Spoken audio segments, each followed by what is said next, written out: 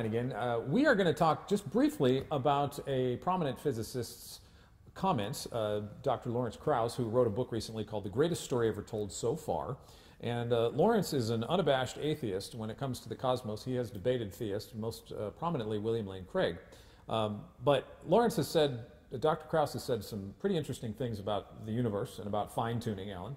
And uh, we want to just quickly address some of the more prominent ones, or a prominent comment that he made, I believe, during a William Lane Craig debate. Is that correct? When this was when this happened? I believe so. Okay, That's right. so, yeah. Um, why is it important? Well, because the the astrophysical community, especially those that don't believe, are often making statements that are not necessarily scientific, uh, but they sound scientific, and sometimes they're confusing, and we don't know how to understand them, and they can be kind of intimidating. So, what we'd like to do, with all due respect to, to, to, to Dr. Krauss, is to unpack something that he said to make it a little bit more comprehensible, to, to, to demonstrate uh, maybe what the science behind it and the assumptions behind it, and kind of pick it apart and, uh, and break it down so it's understandable, and oh, this is what it is, right?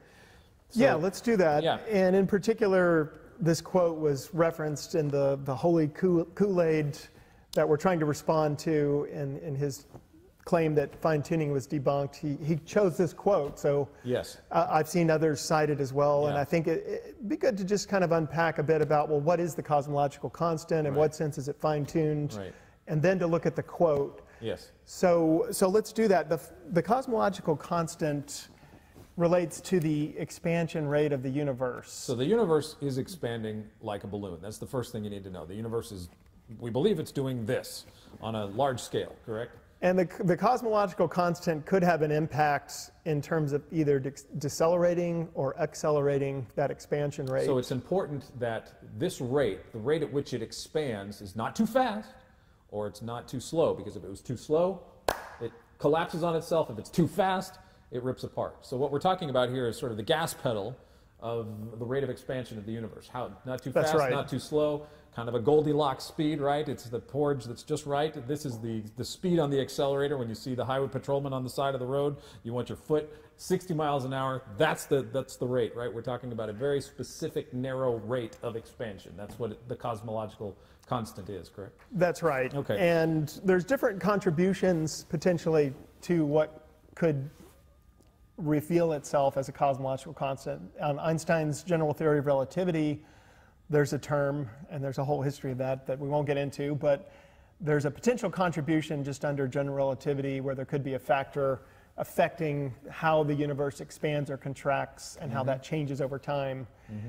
But then also on quantum field theory, there's very good reasons that physicists believe that there's something called zero point energy that at the very lowest energy state of space, space time, that you still have a certain amount of energy and that that energy has the ability to cause an acceleration. Like sleeping kindergartners. So you got a room full of sleeping kindergartners, and there's still energy there. There's a lot of potential energy in the room That's full right. of sleeping kindergartners. It's not zero because one of them wakes up and it's chaos, right? So, That's so right. we're talking about uh, a, a, net zero. So just picture that kindergarten class at nap time, and that's kind of what we're talking about in the in the in the empty in the well empty or the universe right now. Those those those those That's low right. en- energy states could could be contributing to this expansion rate, right? Just so, a good nap time would be contributing to the teacher's sanity, right? That has to. That's be, right. Yeah. So let's get to this Krauss, uh, Dr. Krauss quote. Uh, do, you, do you feel like you have enough background there? Well, I, I would like to say a bit more about the cosmological constant itself in terms of the fact that there are multiple contributions to, to give us an effective cosmological constant. There's what I mentioned from general relativity, and then for all these different particles, there's contributions to what that could be. And we know some of them are enormously large, enormously larger than what would be life permitting. Yeah. So We're it's like- talking 120 orders of magnitude, which is like one Yeah. followed by 120 zeros.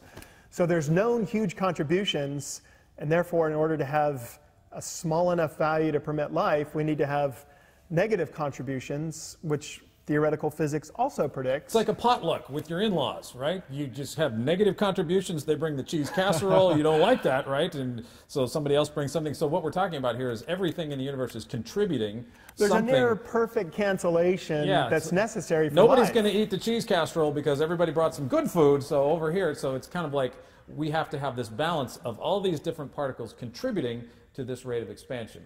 I- in a sense. So I think right? it's important to, yeah, to understand a bit of the background. And so then when we look at, at Krauss's quote where he says that, I'm going to read it? I'll read go it. ahead and read it okay. if you would, yeah. So this is this is the quote, um, and this appears. Now, the re, again, the reason that we're talking about this is because this appeared on a, in, a, in a popular YouTube video. A gentleman by the name of uh, Thomas Westbrook, who goes by the moniker of Holy Kool Aid, did a fine tuning video on his YouTube channel and uh, used this quote. Correct. And uh, so it has like 110,000 views or something That's like right. that. And the, at, the, at the popular level, for a lot of skeptics, uh, science is a big thing. And so a lot of times Christians don't have an answer even for these things. And so we hope that this may at least provide you with some uh, a reference that you can utilize in conversations with friends that are more scientifically minded maybe than, than you are. So here's the Lawrence Krauss quote. Dr. Krauss says, one of the worst fine-tuning problems in nature, which is one of the ones I first proposed, the cosmological constant problem, that looks like it's incredibly fine tuned, 120 orders of magnitude, the worst fine tuning problem in nature. And Dr. William Lane Craig will jump up and say, Look, if it was a lot bigger, we wouldn't have humans. Well, it turns out if it was precisely zero, which is a much more natural number, more life would form. End quote. That's what he said. All right, so the interesting thing though is that we know that it's not precisely zero. Uh, Starting in about the late 1990s, observations came in on what's called type 1a supernovas, which revealed that the universe is not just expanding, as could easily happen under general relativity, but it's accelerating in its So, expansion. so this, let me, people, I can hear people, my brain saying, what, what does Alan mean by zero? What do you mean the universe isn't zero? Well, it's like, just think of the odometer on your car, right? It's like, a- it's like a number. It's a very, it's a, it's a, there's a lot of history behind that number, but, but, but what you're saying, it's not zero. It's, it's, it's going at a certain rate of speed to break it down in a very simple, simple if way. it were zero, simple. the universe would have been gradually slowing down its, in its expansion like due, due to your, gravity. Yeah, you've taken your foot off the accelerator, your car's eventually going to Yeah, stop. the gravity is, Right. still pulling everything Right. together. So But what's now that- we know that it's actually accelerating, and this is what is often referred to as, as dark energy. Yeah, something, there's a mysterious force on the gas pedal of the universe pushing it in a, a direction that's expanding it. Um, we know from the data it's expanding. And so that number, that zero, what you said, that, that number, what Dr. Krauss said, that zero, just, just in an overly simplistic term, think of an odometer. Think of your speed. Uh, your car's not slowing down. It is accelerating. And it's not a foot. It's something else rather mysterious called dark energy, right? So that... So, yeah, what, the, the key here is that what Krauss is saying is that, yeah, it could have been natural if it were zero, in which case it wouldn't have been recognized as necessarily being fine tuned. That was the status. Yeah.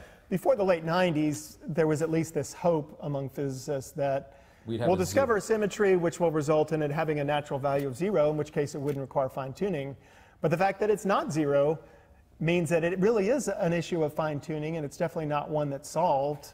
And it's not one that's just brought up by creationists or William Lane Craig, but it's, it's very much something discussed in the physics literature by physicists and who say things like, this is still not a solved problem. We believe this is a very finely tuned parameter. And it just so happens that Luke Barnes is doing research and has been for quite a while using something called the Eagle simulation software, which is used in many different contexts, but it allows him to study galaxy formation under different values for the cosmological constant. And the data is coming in and showing, you know, it's affirming what everybody really knew that, yeah, it requires a lot of fine tuning. It may actually be a tiny bit less than what some people were saying, but when you've got 120 orders of magnitude, uh, it, it doesn't diminish So it, would it be very much. It would so. be easier for the agnostic skeptic to have a universe at zero than it would be to have a universe accelerating at just the right speed. The Is that point correct? is that the cosmological constant, if it were zero, it would have been also life permitting, as Dr. Krauss says. But the fact is that it's not zero, and so fine tuning is required. yes. And there's also an interesting thing worth mentioning that there was a recent article from 2016 in which they were discussing how it may actually be, they were arguing, in fact, that it's better for life, that it's not zero, that it's a little bit larger than zero uh, because of something called gamma ray bursts. There's these intense things going on in the universe that can wreck it for life. And by having a little bit of your foot on the accelerator, as you were saying, We can get we're away able from to minimize the effects of these kinds of uh, Running away things. from the Texas State Highway Patrolman is what we're doing. No, but the, So, I mean, I wouldn't, I mean, I've talked to Luke Barnes about that, and I'm not, I don't think we want to claim necessarily that that article is right, even, Uh-huh. you know, but I think the point is that fine tuning is required, and there's, in fact, I think a much better reason for saying, you know, hey, if God is behind the fine tuning, why he wouldn't have made it zero? Because first of all the, the difference in the amount of life between zero and the tiny value in our universe is basically trivial. You, you don't see much of a difference at all if you mm-hmm. watch the galaxy formation mm-hmm. coming out of luke's simulations between those two cases. Mm-hmm. Um, and in fact with this other article now there's reasons at least in, in, the, in play for why god could have wanted to have it non-zero solely from a physics standpoint yeah. but the bigger thing, too, is that it's, as Lawrence Krauss says, and as other physicists have discussed, had God put it at zero, no one would have really seen it as a finely tuned parameter. Mm-hmm. So, on the hypothesis that God finely tuned the universe, wanted to leave a little bit of evidence, this is the very thing that you would actually expect. Mm-hmm. And uh, some people, uh, originally Steven Weinberg pointed to the possibility of a anthropic multiverse explanation for the cosmological constant, arguing that if you had values randomly distributed and then you, you said, well, there's no life in these universes, which would be obviously the vast majority of them, but then you had this life permitting part, then you could analyze whether our universe seems to be typical among those which permit life. It's a good way of kind of testing the multiverse. And it came surprisingly close to predicting the value, and that got a lot of attention, although it was still off by about a factor of 10. And I think a more detailed study shows that there's a little more wiggle room than that in there. And so, uh, and other people like Lee Smolin, even before Lucas started doing his simulations, and I don't think Dr. Barnes has published that yet. Uh, so other people have, have critiqued this as an, a multiverse being a good explanation of that anyway, but that's part of what's going on there. So I think it's, it's very misleading quote to, to think that the, the fact that we have this cosmological constant and that it could have been zero in any way takes away from the fact that it is in fact finely tuned and it doesn't either diminish from the potential of the it to be a part of a cumulative case argument that fine tuning points to a, a Sure. creator. And the other, the other fallacy, I think, in that, in that quote is that, to say that, uh, um, just to say that the, if, if it was zero, there would be more life. It doesn't mean that more life doesn't necessarily mean it would be more or less fine-tuned. You're still dealing with That's right. the very fine-tuning of life itself. So the, so the multiplicity of life in the universe really isn't a factor. It's just life itself. that's a is- good point, is a Dan. factor so that you don't zero that that that well there'd be more life that's not really an argument against fine tuning it's it, it begs more questions you know just Yeah. just life itself so Some, some of the objections to fine tuning as an argument for God really do assume a lot more about div- divine psychology than does the minimalistic claim of, hey, maybe God would, would want life. And we're going to talk a lot about Yeah. that in other, other videos, but this is maybe a good way to, to wrap this one up yes then.